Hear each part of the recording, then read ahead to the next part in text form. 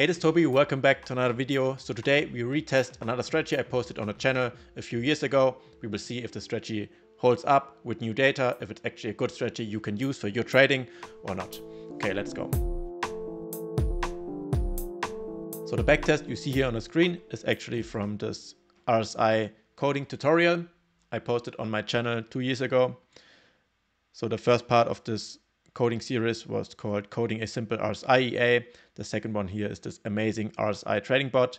I will link both of these videos up here. You can go watch them, code this on your own if you want. It's a step-by-step -step tutorial. But in today's video, we want to check out if this backtest here, if the strategy um, also performs with new data. So we can do a real out-of-sample test. Okay, so let's switch to the MetaTrader 5 platform, open up the strategy tester, and we select the EA here, RSI MA filter EA. And by the way, all the code files, you can code this, of course, here from YouTube. Everything is step-by-step -step tutorial. But if you want to get all the code files from my YouTube tutorials, um, you can check out my website if you don't want to put in the time or effort. Okay, but let's select the RSIMA filter EA here for this test. Now for the symbol, this was on US dollar Japanese yen. So I will just use the default broker symbol for this test. In the original video, um, I used a custom symbol, but for this test, let's just use the default broker symbol. I'm here with Darwinex, it's a demo account. Okay, now for the settings, um, let's actually take a look at the video. So we get the right settings. Here, maybe I will put this on my second screen.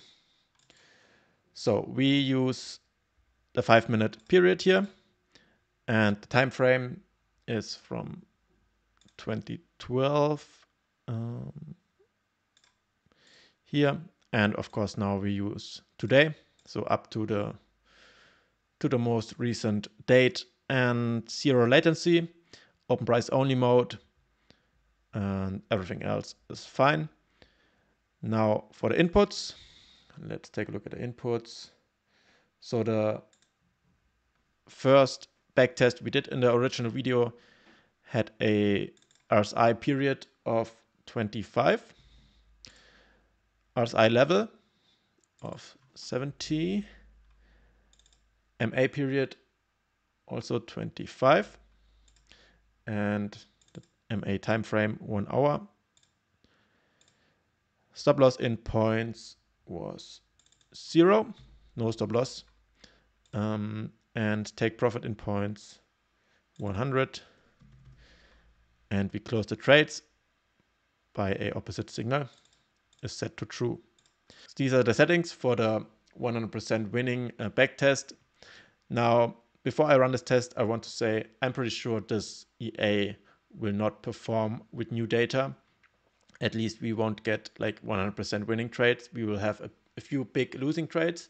Um, but I also, yeah, mentioned this in the original video that I don't believe the strategy will perform like this in the future. But let's just um, have a look. Here, if I run this test and we go to the graph, we can see the great performance in the beginning. Um, so I published the video yeah beginning of 2023 so we actually had a nice performance for maybe a year with no losing trades and then here a few big losing trades and that's that's just the nature of the strategy. We have no stop loss. So this parameter set was just lucky and basically optimized to have no losing trade. And as soon as we test this with new data out of sample test, basically it it falls apart. So I also said I would not trade this on a live account, but in the original video, there was also a second back test we did. Um, so let's take a look at this parameter set. Um, this was the first one here. And the second one was this back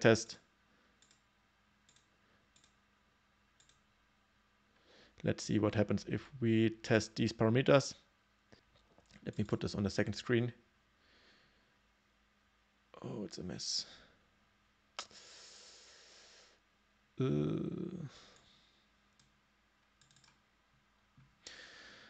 okay, so for the second backtest, we have a RSI period of 15, 70 for the level.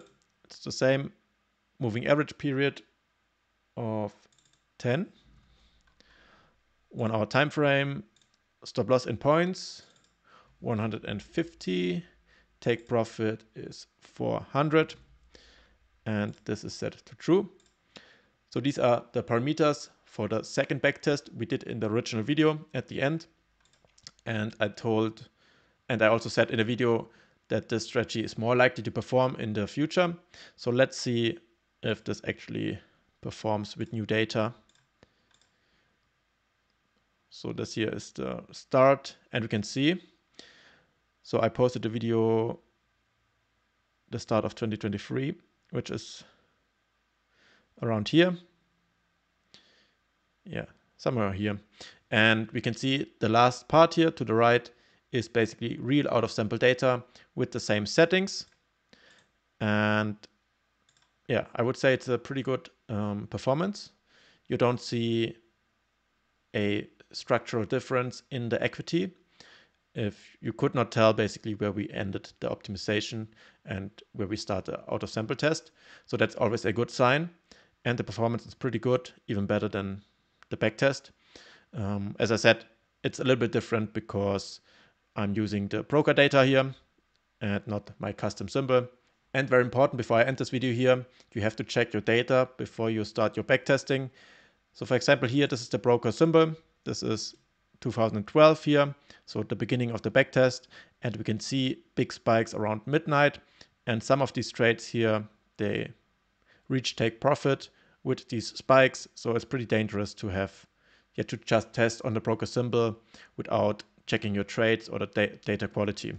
So that's why I like to use my own custom symbols with other data sources, maybe from Dukascopy or also tick data from Darwinex. But I talk about this in my um, strategy development course. But for this video, just make sure to check your data. We can trust uh, at least the second half of this back test because the data quality here in the end of the broker symbol is pretty good. We don't have these spikes around midnight. So at least this performance is legit. And the strategy is pretty, pretty good and performed well with out of sample data. So I might look into this for my own trading. It's a very simple EA. Uh, you can code this, as I said, with the coding tutorials here on YouTube for free. You can also get the code on my website. Okay, so that's all for this video. Pretty cool strategy uh, you can use for your own trading. And yeah, I wish you great trades, have a great week, and I will see you in one of the next videos. Bye bye.